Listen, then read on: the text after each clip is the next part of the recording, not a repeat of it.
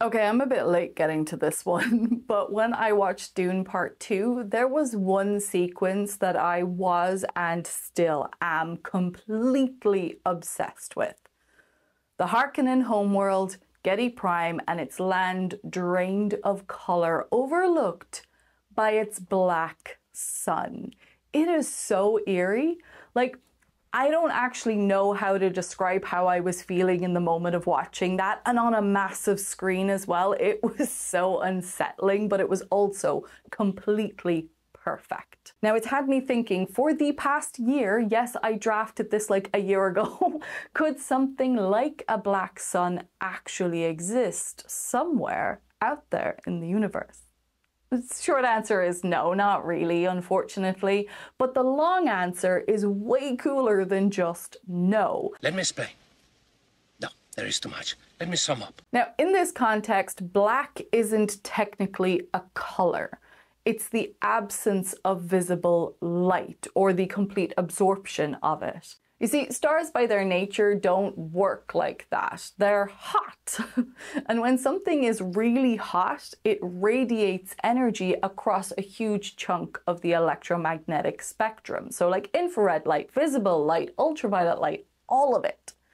The color of a star, then, or what we deem the color of it, depends mainly on two things. You have the surface temperature and you have the wavelengths of the light that it emits most strongly. Now, our own sun emits light across almost the entire visible spectrum, and it does it pretty evenly. And when you blend these wavelengths of light together, the true color then of the sun is actually white. Not yellow, not orange like we see in the sky, it's white. Okay, side note though, because there is a slight peak in the green part of the spectrum, so we could technically say that our sun is more green than any other color. But the peak isn't strong enough to shift how we actually see it, so it still appears white. But I like to say our sun is green because, you know, I just, just want to be difficult. Anyway, okay, so you might be wondering though, why does the sun look yellow if I'm saying that it's white? It's not because the sun's color changes, it's just that it's down to the way that light travels through the Earth's atmosphere. Now, our atmosphere, because it's dense and it's filled with particles, it scatters light. And the types of particles that are in our atmosphere tend to scatter shorter wavelengths of light. So things like blues and violets. And they do that a lot more than longer wavelengths like reds and yellows. So by the time the sunlight actually travels through the atmosphere and reaches our eyes, most of the blue light has scattered out of it, leaving the light from the sun looking warmer, more yellow, and more orange. So it's actually just a trick of distance and scattering effects. Out in space, though, away from our atmosphere, the sun shines white. Now, if you take that idea and if we push it a little bit, we get to could we have a star that looks black? Now, still no, not in the same way, because, like I said, black isn't actually a color on the electromagnetic spectrum. So, the only way to really get a star to appear black would be to have the light it emits be made of wavelengths of light that are not in the visible part of the spectrum. But there's actually no natural way to get a star that's hot enough to be a star, but somehow also invisible in the visible spectrum. It just doesn't happen. Because even the hottest, hottest stars out there, the ones that peak in things like ultraviolet or X ray parts of the spectrum, they still pump out huge amounts of visible light. So they tend to look bluish white to human eyes. They wouldn't look black. However, are we looking at the black sun of Giedi Prime with human eyes? Methinks not. So, have you ever seen images of our own sun taken in ultraviolet or X ray? You see, you can see that sometimes it looks like there are dark spots or even giant holes on the surface. Now, these are real features. They're things like sunspots or like coronal mass ejections. They're not actual holes in the sun. I know I've seen some viral videos that claim that, but they're not holes. There ain't no holes there. They just show up as black or dark regions in those images because they're cooler and they're emitting less radiation at those particular wavelengths, just in those parts of the sun.